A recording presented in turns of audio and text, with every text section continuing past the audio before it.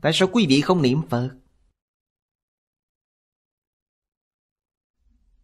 Vì sao từ sáng đến tối vẫn suy nghĩ lung tung?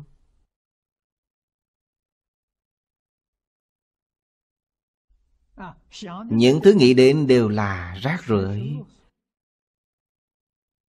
Đều là thứ luân hồi sáu nẻo Khởi tâm động niệm không xa rời sáu nẻo luân hồi Khởi tâm động niệm, toàn là A-di-đà Phật. Quý vị sẽ xa lìa sáu nẻo luân hồi. Sáu nẻo luân hồi không có Phật A-di-đà.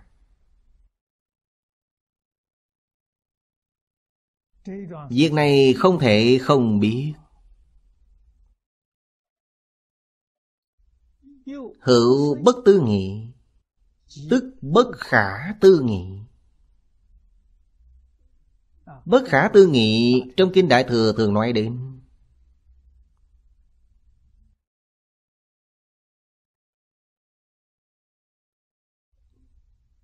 Tên gốc của bản kinh nhỏ này Chính là Kinh A-di-đà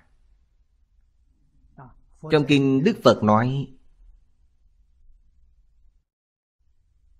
Phật định tên cho nó là Xưng tán bất khả tư nghị công đức Nhất thiết chư Phật sở hộ niệm kinh Đây là tên gọi do Đức Phật Bổn Sư Thích Ca Mâu Ni đặt cho kinh này.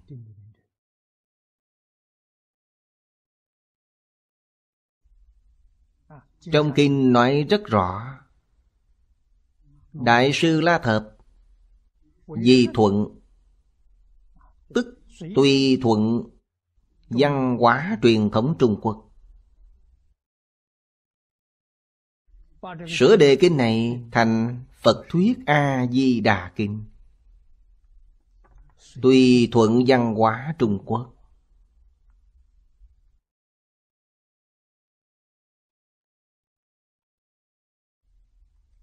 Đặt rất hay. Vì sao vậy? Tu hành tịnh độ quan trọng nhất là trì danh niệm Phật.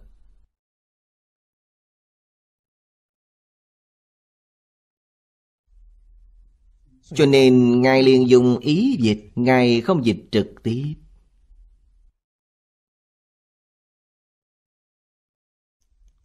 Đó là trí huệ. Trí huệ chân thật, Lợi ích chân thật.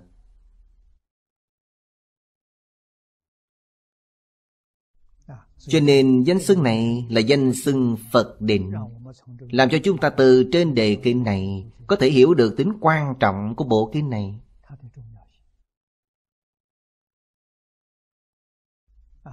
Xưng tán bất khả tư nghị công đức. Ai xưng tán? Tất cả chư Phật xưng tán như vậy, còn gì bằng?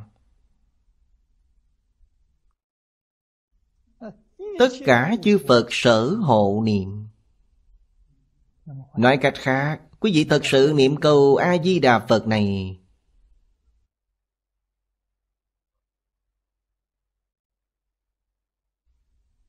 Quý vị sẽ thành tựu công đức không thể nghĩ bàn Quý vị sẽ được tất cả chư Phật hộ niệm Ngay nơi đây có bằng chứng căn cứ Tuyệt đối không phải giả Tại sao quý vị không niệm Phật? Vì sao từ sáng đến tối vẫn suy nghĩ lung tung?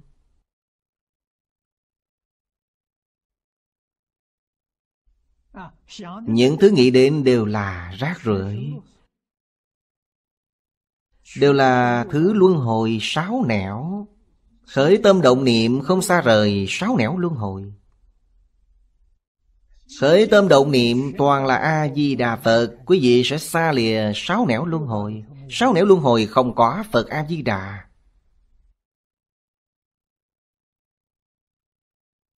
Việc này không thể không biết.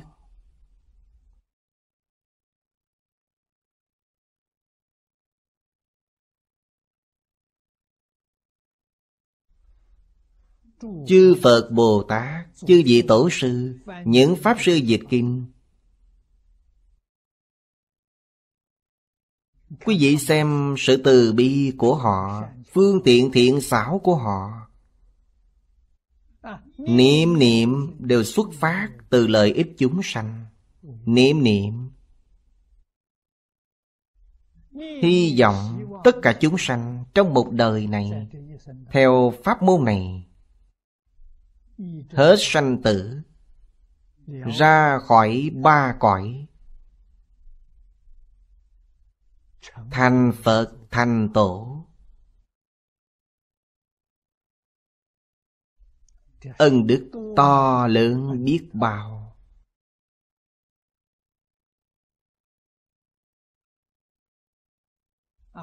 Chúng ta vì sao kém cỏi thế? Chỉ vì không tin tưởng. Chỉ vì không muốn quan tâm.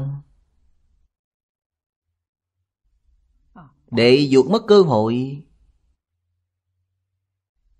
Thật sự giải thoát trong đời này, Ngay trước mắt.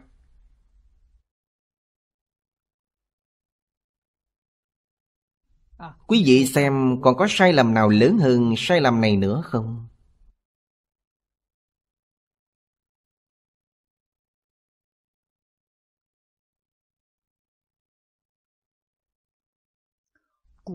Lại nữa trong cổ âm thanh dương, Đà La Ni Kinh, Nói rằng,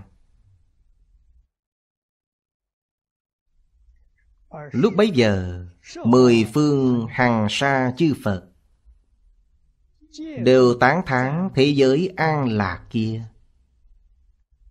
Thế giới an lạc chính là thế giới cực lạc. Mười phương hàng hà sa số chư Phật Không thể điểm hết.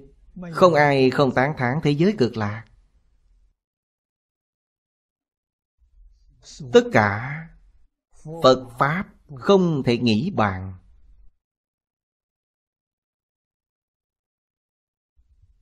Thần thông hiện hóa. Các loại phương tiện không thể nghĩ bàn. Nếu có thể tin sự việc như vậy, Nên biết người này cũng không thể nghĩ bàn. Nghiệp báo quá được cũng không thể nghĩ bàn. Đoạn kinh văn này Thật không thể nghĩ bàn.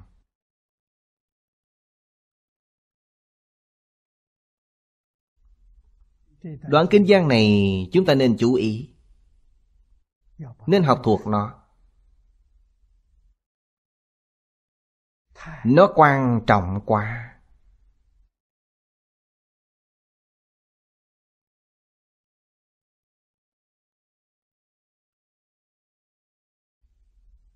Niệm Phật có bao nhiêu lợi ích Ở đây đã nói hết rồi.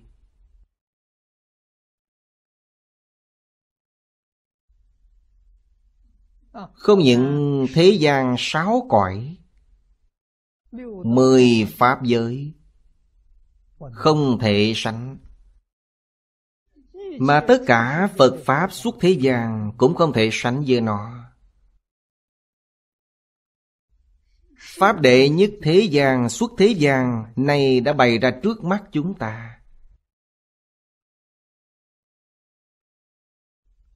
Quý vị xem, Quý vị có phước báo, biết bao.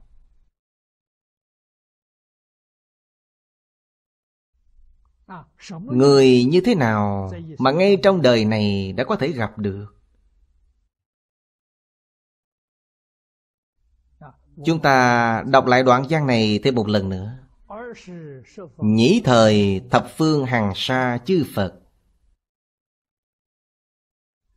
Giai cộng tán bỉ an lạc thế giới. An lạc thế giới chính là thế giới cực lạc. Sở hữu Phật Pháp bất khả tư nghị. Thần thông hiện hóa. Chủng chủng phương tiện bất khả tư nghị. Như hữu năng tính Như thị chi sự. Đương tri thị nhân bất khả tư nghị. Sở đắc nghiệp báo. Diệt bất khả tư nghị.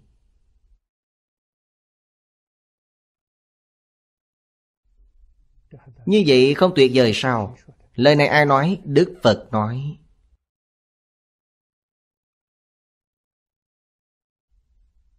Chính Đức Phật Thích Ca Mâu Ni nói. Đức Phật Thích Ca Mâu Ni đại biểu cho mười phương hằng sa chư Phật nói ra điều này.